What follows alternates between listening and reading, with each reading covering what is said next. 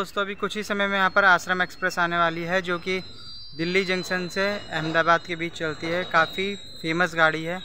और धीरे धीरे आ रही है काफ़ी जैसे ही आती है मैं आपको दिखाता हूँ